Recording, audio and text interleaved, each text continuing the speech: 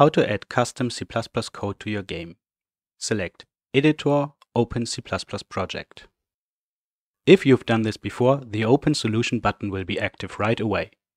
If you haven't done this before, or you want to recreate the Visual Studio solution, for example because you've added new source files, click Generate Solution. In this case, the project name contains spaces and thus can't be used directly in code. Either allow it to use a modified name or rename your project by renaming the folder in which it is located. The editor now runs CMake to generate a Visual Studio solution.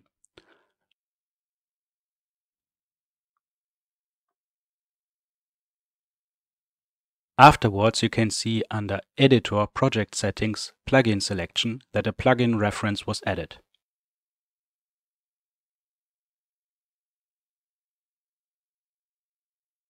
Switch to the solution. The solution contains some sample components and a game state for you to get started. Compile the Visual Studio project. When the ezEditor detects a change in your game DLL, it automatically reloads the engine process. Select an object and open the Components menu. Under your project's name, the new components are listed and can now be used.